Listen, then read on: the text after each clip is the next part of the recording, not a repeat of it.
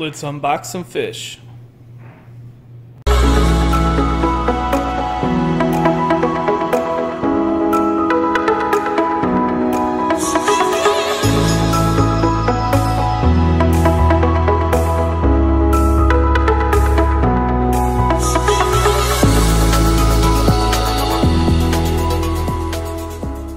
Yesterday.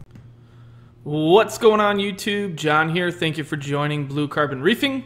Today I wanted to give you a little treat of uh, what I am doing. If you watched last week's video, uh, I took some fish out of quarantine and put them back in the main display. So uh, going to be receiving some fish from liveaquaria.com. Uh, so what I'm doing right now is I'm going to be breaking down this 55 gallon quarantine uh, with 100% water change and taking everything out and cleaning it as best as I can to set up a completely new quarantine with fresh water uh, to prepare for the delivery coming tomorrow. So essentially what I'm going to be doing here is draining all of the water out. I have actually a 44 gallon Rubbermaid container I just drain everything into. Uh, I'm taking every single piece of the quarantine heater, uh, filter uh, sponges and other things out of the tank and putting them in here so I can clean absolutely everything in this tank.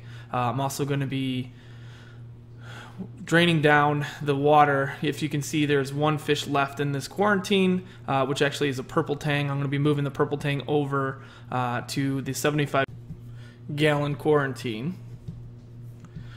So right now I'm just taking everything out that I can, including the sponges in the hang-on back filter, cleaning up this tank, getting all the algae out of it, and just making it 100% pristine so then I can put uh, fresh salt water right into the new tank and start uh, temperature acclimating everything here. So essentially I'm cleaning everything up that I can and in order to get the last bit of water out I had to lift up the tank a little bit and tilt it so the water, last bit of water was in one of the corners.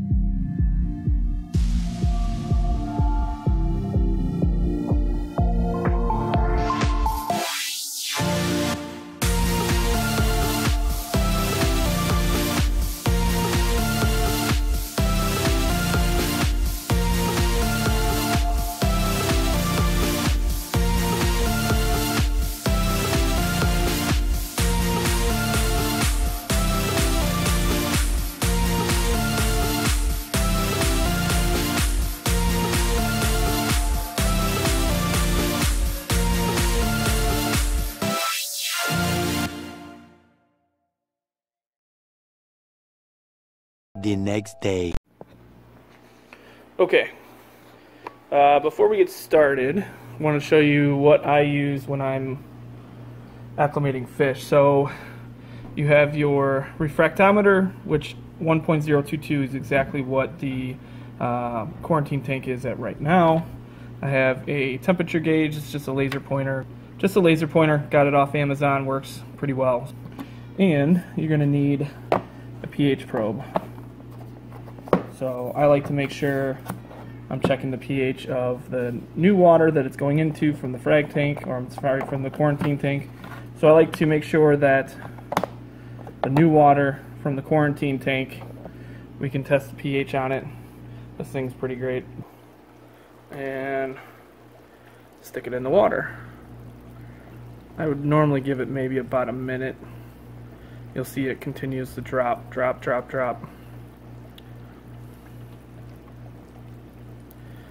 So I'm going to say we're about 8.2.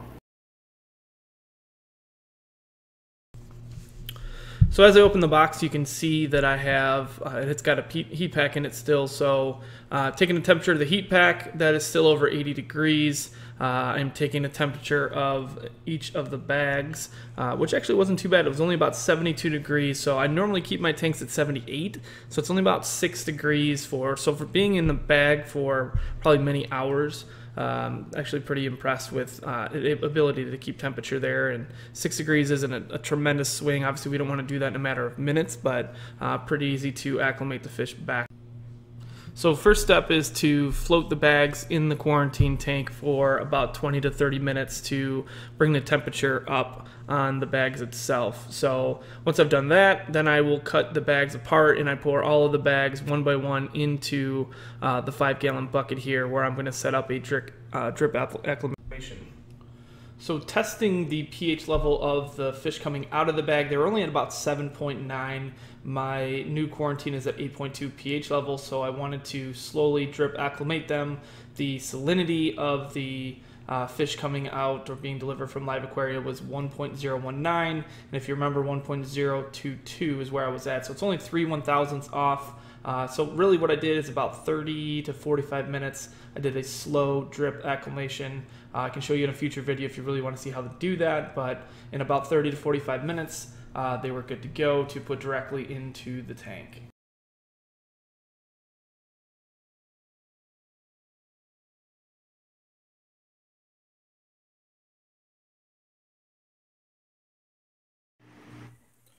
And here is the update of the fish I got from liveaquaria.com.